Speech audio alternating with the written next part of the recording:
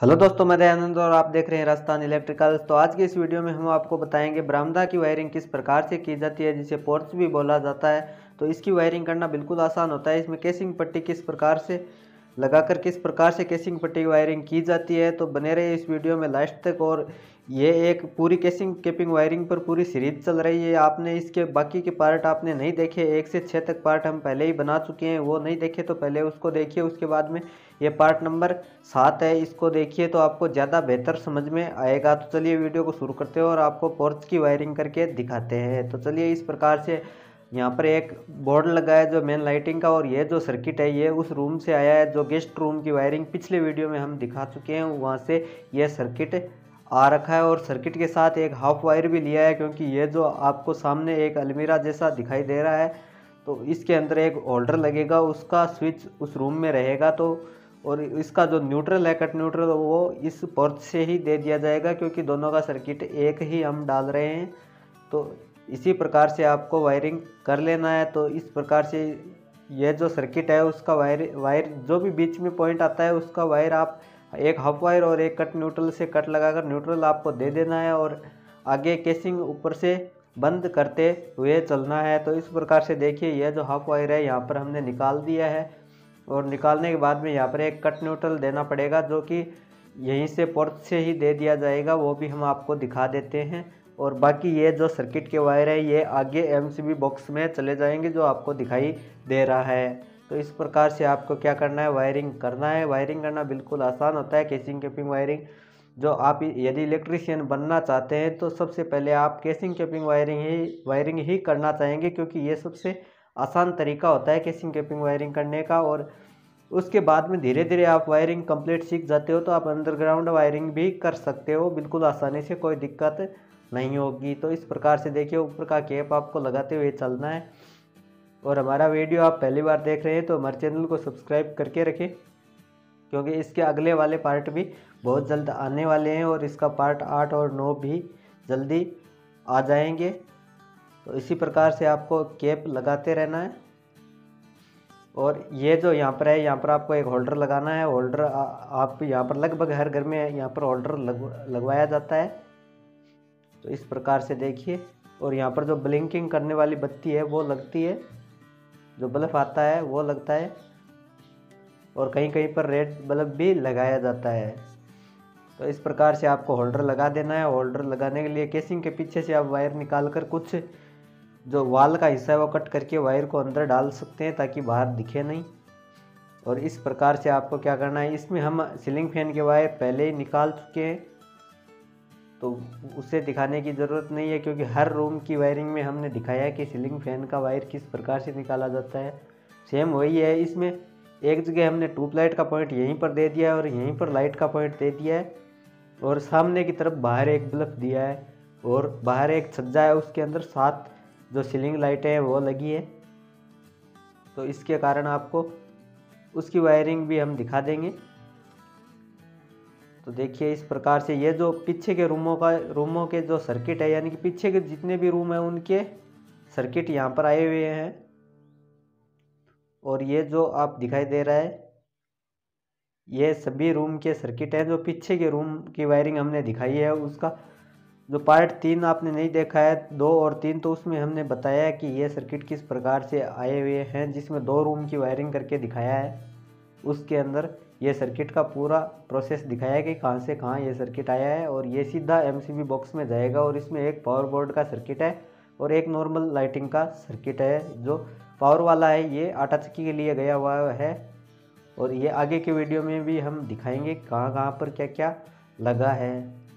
तो यदि आप इसमें बोर्ड की हाइट कितना रखते हैं और केसिंग को किस प्रकार से सीधा लगा सकते हैं, ये आपने नहीं देखा है तो वीडियो का पार्ट नंबर दो आप देखिए, उसमें हमने एक नहीं बल्कि दो तरीके बताए हैं केसिंग को सीधा लगाने के। वो भी आप देख सकते हैं। उसका लिंक भी आपको डिस्क्रिप्शन में मिल जाएगा। तो इस प्रकार से यहाँ पर क्या करना है, आपको दो वायर लेने हैं सिर्फ़ और इस नीचे वाले बोर्ड में डाल दिए हाफ़ वायर और न्यूट्रल है जो कट न्यूट्रल से लेकर दोनों में दे देना। एक ट्यूबलाइट का पॉइंट लगाएँगे सीलिंग रोज और एक होल्डर लगेगा। तो ये भी लगाना बिल्कुल आसान होता है। देखिए, हमने कट न्यूट्रल ले, में एक वायर का टुकड़ा लेकर लूप कर रहे हैं और दो वायर हमने बोर्ड के अंदर डाल देना है नीचे। तो इस प्रकार से इसकी वायरिंग हो जाएगी कंप्लीट देखिए, अभी वीडियो में बने रहे क्योंकि आगे वीडियो में बहुत कुछ है। तो इस प्रकार से देखिए, इसमें कट लगाना है और कट लगाने के बाद में यहाँ पर आपको इसके ऊपर जो सीट लगेगी, सलमाइका लगेगी, वो लेनी है। और उसके ऊपर आपको एक सीलिंग रोज और एक होल्डर लगाना है। सीलिंग रोज जब भी आप टू प्लेट की ज़रूरत पड़ती है लगाना चाहते हैं तो लगा सकते हैं, वो एक स्पेयर पॉइंट रहता है।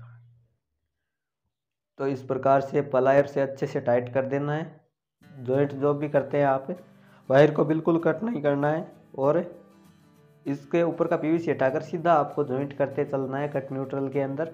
ताकि आगे कभी भी प्रॉब्लम ना आए।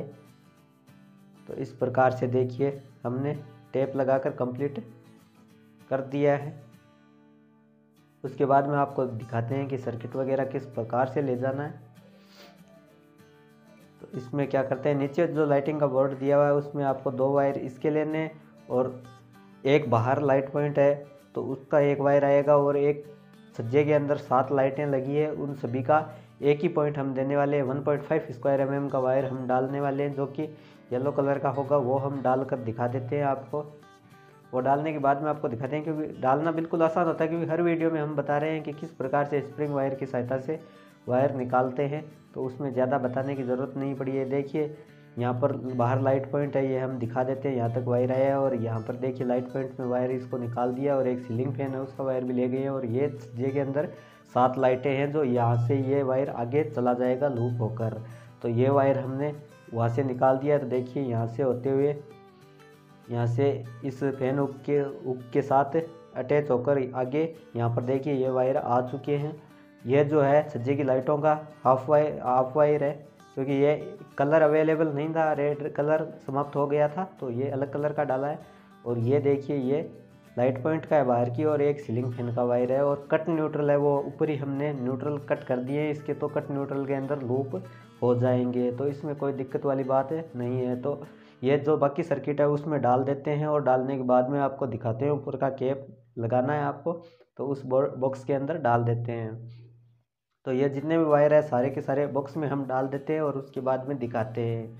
और कट न्यूट्रल है जो कट न्यूट्रल के अंदर लूप कर दिया तो देखिए इस प्रकार से फिनिशिंग आ जाती है और सारे वायर केसिंग के अंदर हमने डाले, कुछ नहीं किया है, सिर्फ़ कट न्यूट्रल के अंदर, जो न्यूट्रल के वायर थे जॉइंट कर दिए और बाकी इन बॉक्सों के अंदर डाल दिए हैं। तो उसके बाद में क्या करना है आपको, ये जो हाफ़ वायर है, ये इधर लाइट का है, जो बाहर की तरफ़ निकलेगा और इधर से ही मीटर का वायर अंदर आएगा। तो यहाँ पर हमने होल निकाल रखा है और होल निकालने के बाद में देखिए इन दो, एक न्यूट्रल का वायर लेना है, जो यहीं MCB बॉक्स में जो न्यूट्रल लिंक है, उसके अंदर कनेक्ट हो जाएगा और यहाँ से एक न्यूट्रल और एक फ़ेज़ बाहर निकला है, जो कि लाइट के लिए हम डाल रहे हैं और एक बाहर से मीटर का वायर अंदर आएगा, जो कि आप फोर स्क्वायर एम का डाल सकते हैं। हमारे पास फ़िलहाल 2.5 स्क्वायर एम का था अवेलेबल तो यहाँ पर ज़्यादा कोई लोड नहीं चलना है और ये कम से कम पाँच से छः फीट के आसपास है आसपास है, दूरी तो ज़्यादा दूरी भी नहीं है, यहाँ पर, यहाँ तक दस एम mm की केबल आएगी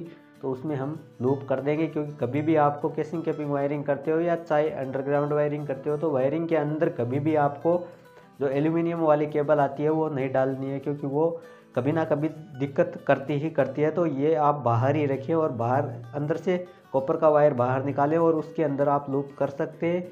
यदि आप वहाँ पर कुछ लगा देते हैं फ्यूज वगैरह तो उसमें आसान रहेगा आपको कनेक्ट करने में, या आप सीधा भी अच्छे से जॉइंट कर सकते हैं। बिल्कुल अच्छे से जॉइंट करना होगा, तभी ये वायर जलेंगे नहीं, वरना कुछ टाइम के बाद में जलने का खतरा रहता है। तो इस प्रकार से देखिए, आपको इसके ऊपर का सलमाइका है, वो ढक लेना है, और सलमाइका लगाने के बाद में आपको बताते हैं कि इसमें क्या क्या पॉइंट आप आ चुके हैं।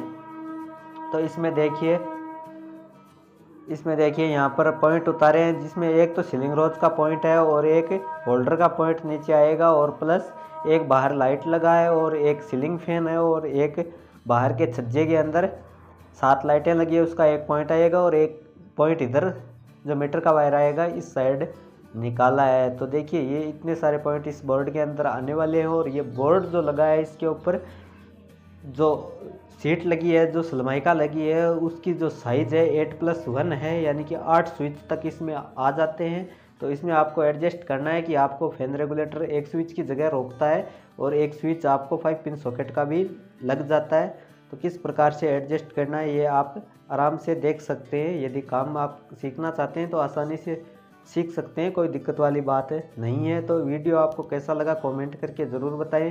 और वीडियो पर पहली बार है तो चैनल को अभी से सब्सक्राइब कर लें, क्योंकि इसी प्रकार की इंटरेस्टिंग वीडियो आपको मिलती रहते हैं और यहाँ पर सारे वीडियोज़ रियल मिलते हैं आपको, जो साइड वर्क होता है, यही यहाँ पर दिखाया जाता है। तो सब्सक्राइब करना बिल्कुल फ्री होता है और सब्सक्राइब करने के बाद में बेल नोटिफिकेशन को ऑन कर लें, क्योंकि आने वाली वीडियो का नोटिफिकेशन आपको मिल जाए सबसे पहले और वीडियो को लाइक शेयर कमेंट ज़रूर कर दें। तो यहाँ पर प्रत्येक कमेंट का रिप्लाई आपको मिलता है। तो देखिए इस प्रकार से एक सीलिंग रोज एक होल्डर यहाँ पर लगाकर कंप्लीट किया है। और यहाँ पर सीट लग जाएगा। इसका वीडियो हम ऑलरेडी हमारे चैनल पर दिखा चुके हैं। तो आपने नहीं देखा है तो आपको बहुत पहले इसका वीडियो इस प्रकार के बोर्ड का आ चुका है तो दोबारा दिखाने की ज़रूरत नहीं पड़ेगी, क्योंकि उस वीडियो को आप देखकर समझ सकते हैं कि इस प्रकार के बोर्ड की वायरिंग किस प्रकार से होती है। तो ये वायरिंग करना बिल्कुल आसान होता है। तो केसिंग केपिंग वायरिंग का ये पार्ट नंबर सेवन आपको कैसे लगा कमेंट करके बताएँ। तो चलिए मिलते हैं इसी प्रकार के इंटरेस्टिंग वीडियो के साथ। तब तक के लिए धन्यवाद दोस्तों।